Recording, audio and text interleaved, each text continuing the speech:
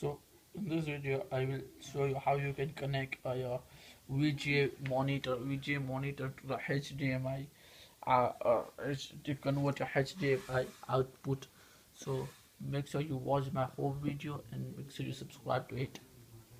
For this you need a VGA output monitor like this which I have and a VGA cable which will be connected to the monitor and VGA to HDMI cable which available on Amazon and this will be connected to the here and this connect to the HDMI out output pin in your setup box or PS or PS4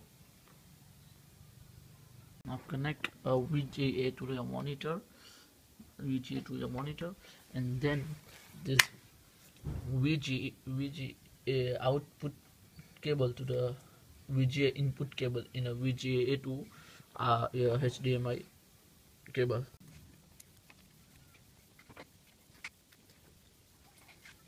Then turn on your monitor.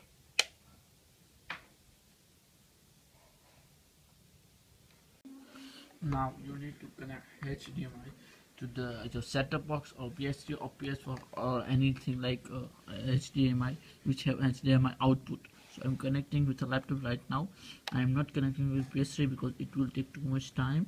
And so let's do with the laptop.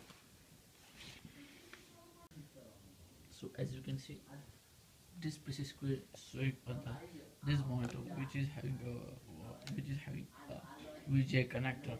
And I have connected it with uh, a HDMI output. Check this out this is my HDMI cable this is it's connected to the uh, VGA and then it is connected here to the uh, monitor which is having a uh, VGA cable. So thank you for uh, watching my video and please make sure you subscribe my channel. If you like my video give a thumbs up. If you do not like you uh, uh, dis dislike my video so I can understand what what should I improve what should I do for improving my videos. Thank you